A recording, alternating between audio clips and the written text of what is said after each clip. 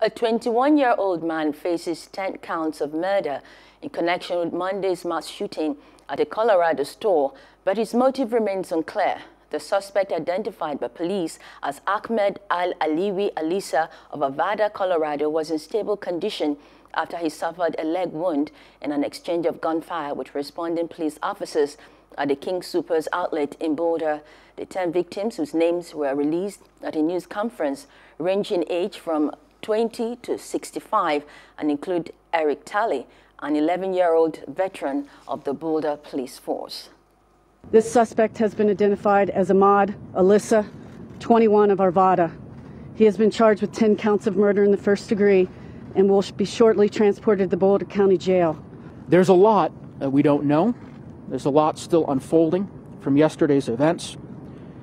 But let me simply say this. This cannot be our new normal. We should be able to feel safe in our grocery stores. We should be able to feel safe in our schools, in our movie theaters, and in our communities. We need to see a change because we have lost far too many lives. Hello. Hope you enjoyed the news. Please do subscribe to our YouTube channel and don't forget to hit the notification button so you get notified about fresh news updates.